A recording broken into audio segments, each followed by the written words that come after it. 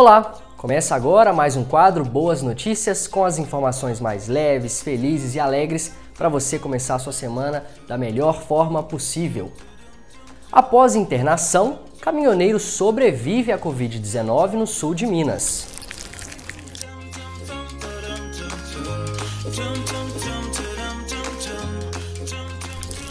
Menino pede boneca de presente para a mãe para poder aprender a ser um bom pai.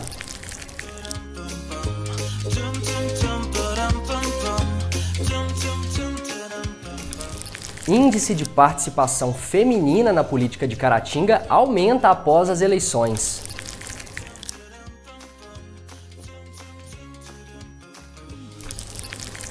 Superação. Muito se fala sobre as profissões que sempre estiveram na linha de frente durante essa pandemia, citando profissionais da saúde e da segurança pública. Mas um grupo que também não parou de trabalhar foi o setor de transporte rodoviário. Viajando para diversos lugares com índices de contaminação diferentes, eles seguem atuando para levar as entregas, mas correndo um alto risco. José Maria Pereira, caminhoneiro do sul de Minas, foi um desses heróis que sobreviveu à Covid-19. O homem de 56 anos começou a sentir calafrios ainda na estrada, em 13 de maio, quando viajava entre as cidades de Três Corações e Amparo, no estado de São Paulo. O caminhoneiro ficou 29 dias na unidade de terapia intensiva, tempo suficiente para ele se sentir depressivo e ter medo de não sobreviver. Ele chegou a acreditar que não sairia vivo do hospital e por isso, quando conseguiu um telefone celular, ligou direto para a família. José respirou com a ajuda de balões de oxigênio e no dia 3 de junho recebeu alta. A família o esperava no hospital e comemorou a saída. Vamos conferir um relato desse sobrevivente.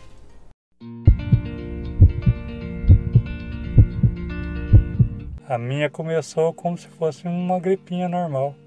Estava sentindo calafrio, né, muito frio, tá? Até que eu fiz o exame e foi confirmado. Fui transferido para Varginha, já fui direto para UTI no oxigênio, não fui entubado tá? Passei perto. O tratamento é muito agressivo, muito agressivo mesmo, tá? Solidão, dor, é, depressão, vendo coisas, né? Tá aí dor, aquela coisa para que não vai acabar nunca. É dor porque toda hora é agulhada, tá? Falta de ar que não, não acaba, né? Porque o pulmão é a primeira coisa que, que sofre né, o impacto. E aguentei ali 21 dias, tá? Melhorei, tá? Até que resolveram me mandar para casa. Mas até que isso acontecesse, o sofrimento foi, foi bravo. Não é uma gripinha, tá? Quem pensa que é uma gripinha tá muito enganado. É muito sofrimento, tá? Sofrimento pra gente que tá com problema e a família então sofre muito também, porque a incerteza da vida, né? É muito grande, muito grande mesmo. Usa máscara, álcool gel, não saiam de casa, tá? Se sair, tá?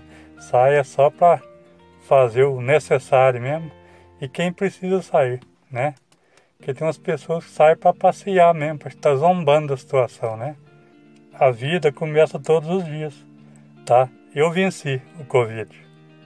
Nem todo mundo tem essa sorte. E cuidem-se, tá?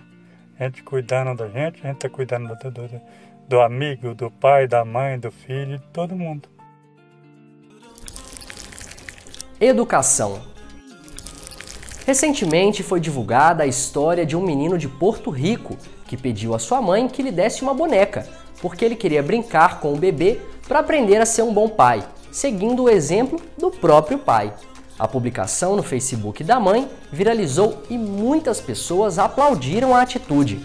Ela compartilhou fotos em que seu filho pode ser visto muito animado com seu novo brinquedo e também relatou como o pequeno demonstra carinho pela boneca, alimentando, dando abraços, beijos e falando palavras bonitas.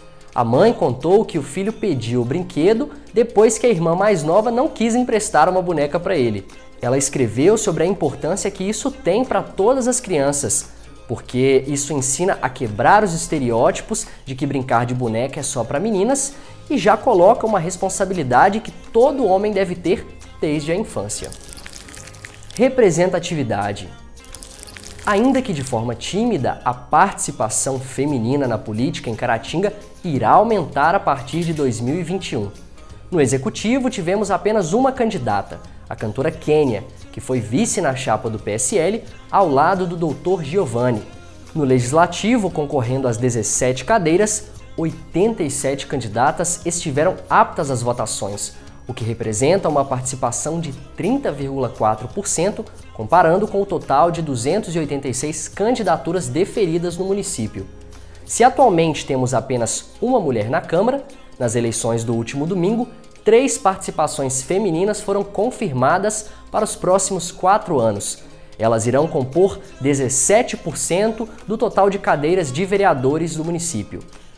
Zelinha da Saúde do PSD foi a segunda mais votada entre todos os candidatos.